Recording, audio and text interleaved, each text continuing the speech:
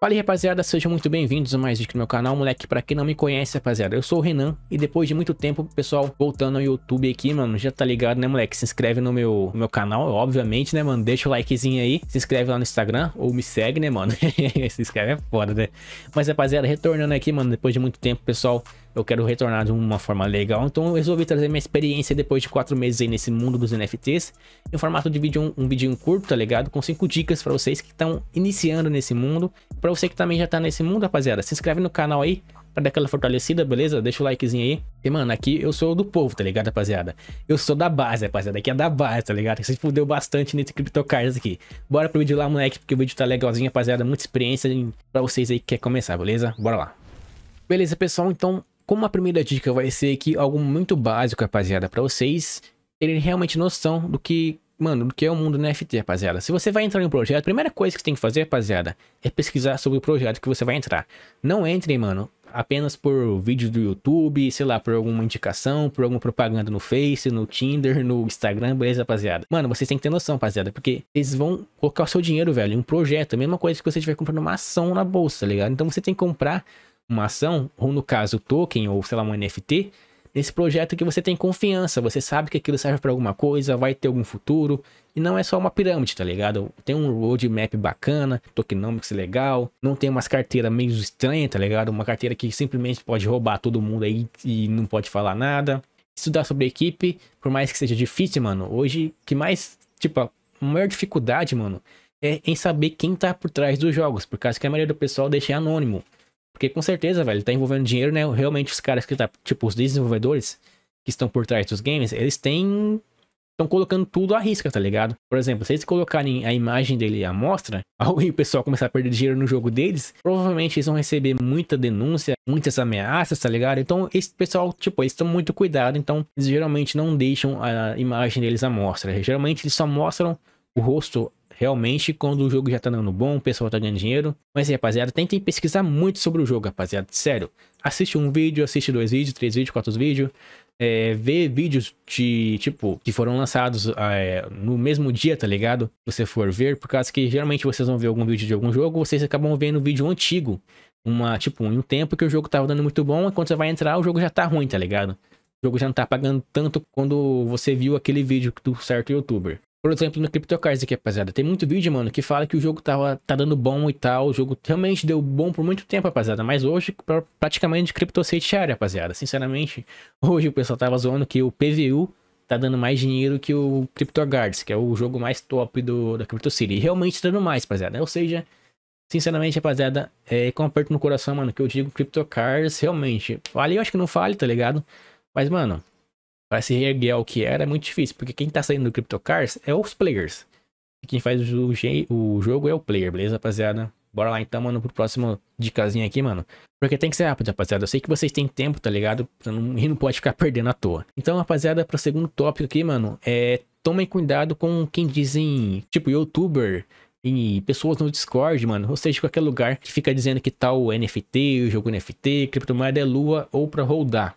Porque geralmente, rapaziada, se você vai entrar em um projeto, você vai ser a base, mano. A não ser que você, sei lá, vai mintar uma, um NFT e acabe pegando um NFT muito raro, tá ligado? Porque aí você já vai ser aquela porcentagem da população que tem uma bunda virada pra lua, tá ligado? Que tem muita sorte. Que geralmente vai recuperar o dinheiro que você investiu muito mais rápido.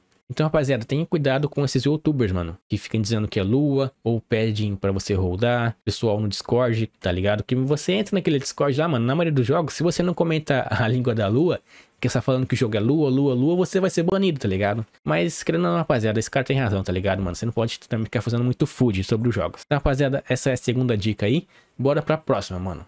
E a terceira dica aqui, rapaziada, é pra vocês terem cuidado, mano, com projetos de fundo de quintal, mano. Eu já entrei em vários projetos, rapaziada. E um projeto que mais me deu, tipo, me decepcionou bastante, que fui muito burro demais, mano. Foi um projeto de fundo de quintal que foi o Arms Legends, que é o joguinho do bracinho que o pessoal costuma falar, velho. O Arms Legends, mano. Sinceramente, rapaziada, eu não perdi muito dinheiro, mano. Perdi algo em torno de uns 500 reais. Mas, olha, 500 reais, mano, brasileiro é muito dinheiro, velho. É 100 dólares por aí, tá ligado? Então, rapaziada, tomem cuidado, mano, com o projeto de fundo de quintal, mano. Que, tipo, o site é uma porcaria, o roadmap é uma porcaria. Ou sei lá, os caras estão, tipo, prometendo muita coisa, sendo que a equipe é pequena. Ou nem tem equipe, tá ligado, mano? Porque, velho, sinceramente, rapaziada, tamo em 2022, mano. Aprendemos bastante coisa em 2021 sobre o que não fazer e o que realmente você pode levar em consideração, rapaziada. É um site legal, uma equipe legal, sei lá, parceiros legais, tá ligado? Legal quer dizer bom, tá ligado?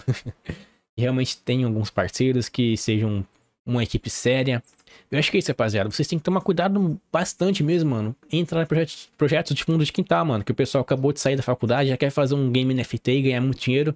E, cara, sinceramente, rapaziada, fujam desses projetos, mano. Esses projetos são os que mais falem, tá ligado? Por causa que, mano, games NFT é basicamente uma startup, rapaziada. Basicamente, quase todas as startups falem, tá ligado, velho? Então, tome muito cuidado. Tipo, quando você for entrar no projeto, tenha mais foco em projetos que estão mais tempo no mercado. E se for entrar em um projeto novo, tentem pesquisar sobre o projeto, se tem um tem um site bacana, tem alguma possível futura jogabilidade, porque o futuro, rapaziada, desses games são realmente jogos que têm jogabilidade. Porque esses jogos que são só clique, você só clica no bagulhozinho que ganha dinheiro, não vão ir pra frente, tá ligado? Porque vocês podem ver o Mirford, rapaziada, tá muito tempo no mercado e ó, sendo sugado por bot, rapaziada.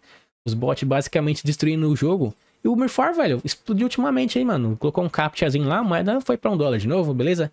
Então tenha foco, rapaziada, em projetos que realmente tenham, que são sérios, rapaziada. Porque projetos que são cliquezinho, sinceramente, futuramente não vão dar muito grana não, rapaziada. Ou provavelmente não vão existir. Então esse foi esse tópico e bora pro próximo. E o próximo tópico, rapaziada, é pra vocês tomarem cuidado, mano, em entrar em altas. Porque, tipo, vocês podem ver o... Quer ver? Deixa eu procurar pra vocês aqui, rapaziada. CryptoGuards aqui, ó.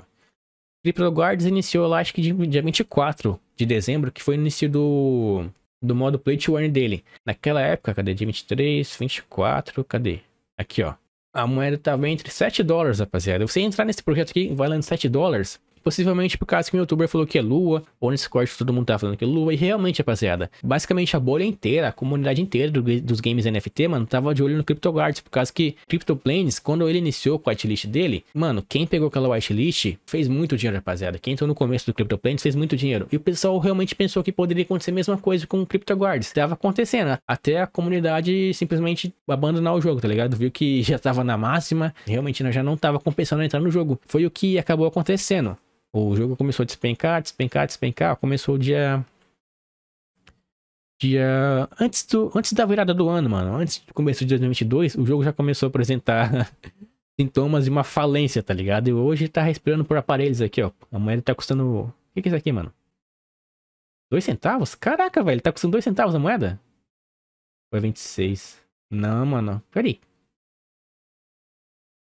Acho que a moeda tá custando 26 centavos, mano. Caraca, velho. Mano, eu tô até perdido aqui, rapaziada. Mas eu acho que tá custando 26 centavos a moeda. Ou é 2 centavos? Ou tá em real? Que sei lá, rapaziada. Eu sei que a moeda não tá valendo mais nada, mano. Não compensa mais entrar em CryptoGuards. CryptoCity já era, mano. Virou um PVU, tá ligado? Os, os devs do, da CryptoCity sumiu. Então, pessoal, é isso, mano. Tem muito cuidado, mano, em entrar em altas. A não ser que você veja que o projeto realmente tem um futuro, tem alguma base. O projeto realmente é sério, tá ligado?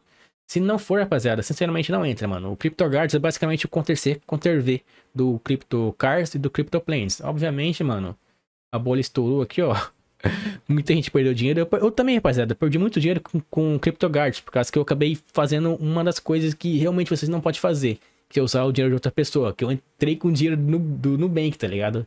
Mas eu consegui recuperar, tá ligado? Paguei o Nubank lá, mano. O Nubank não saiu no prejuízo. Eu saí, perdi acho que foi em torno de 3 mil 3.500 reais no CryptoGuards. Mas graças a Deus consegui sair do CryptoGuards, rapaziada. Esse aí, mano, tenha muito cuidado mesmo, rapaziada, em entrar em altas. E a alta que eu tô falando é essa aqui, ó. Pagar 10 dólares na moeda e ela hoje vale 2 centavos, tá ligado? Acho que é 26, sei lá, mano, não sei. Só que tá falando nada aqui. Bora pro próximo tópico, então.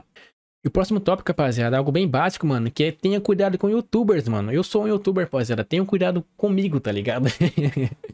Porque, mano, youtuber, rapaziada, eles gostam de fazer a base, tá ligado? Eu sei que o pessoal dizem que não é investir. É... Que mesmo, mano? Eles dizem que não é indicação de investimento. Mas querendo ou não, mano, o cara tá fazendo propaganda sobre o jogo, tá ligado? Igual, acho que foi o jogador de NFT fez propaganda do. Ele e vários outros youtubers, mas ele foi o que mais teve foco naquilo. Ele fez, eu acho que é do Crypto, Crypto Chip. É, sei lá, o Chip, sei lá, um jogo de naviozinho lá, mano, que os caras fizeram um rug pull muito louco lá. Inclusive, o jogador lá perdeu muito dinheiro, tá ligado? Tenha cuidado com o pessoal que faz vídeo. Inclusive eu, né, mano? Eu ainda não, né? Eu tô no começo, né? Mas o pessoal do YouTube ganha dinheiro com patrocínio, mano. Enquanto você tá entrando com seu dinheiro, geralmente ele ganha um, ganha um dinheirinho lá no, no whitelist, que foi no CryptoGuards. O pessoal ganhou participação no, na whitelist sem precisar colocar stake. Às vezes eles ganham umas tokens, às vezes eles ganham dólar mesmo, tá ligado? O pessoal paga em dólar. Então esse pessoal do YouTube, eles ganham dinheiro com patrocínio e com com o pessoal da própria equipe. Eles não ganham dinheiro literalmente jogando. É claro que eles vão ganhar, mas basicamente os caras ganham dinheiro com patrocínios, rapaziada. Então, pessoal, é isso, mano. O vídeo talvez ficou um pouquinho longo ou curto, dependendo do ponto de vista de vocês. Mas ao meu começo, pessoal, eu prometo melhorar bastante, tá ligado? Até comprei mais equipamento aqui, mano. Melhorei meu equipamento, cadeira gamer aqui, ó microfonezinho, melhorei, comprei outro, outro monitor aqui. Eu prometo melhorar, tá ligado? Então deixa o like aí, se inscreve no canal se vocês quiserem ver mais vídeos. E o pessoal dos jogos aí, mano, do Microvolts e outros jogos aí, eu vou trazer mais vídeos, tá ligado? Mas talvez no, em outro canal, rapaziada. Nesse canal aqui eu quero focar mais em games NFT e criptomoedas, beleza? Rapaziada, esse aí, mano, fiquem com Deus, até o próximo vídeo e bora ganhar muito dinheiro aí, moleque. Deixa o likezinho aí pra dar aquela fortalecida no nosso renascimento aqui das cinzas. Isso aí e falou, os moleques.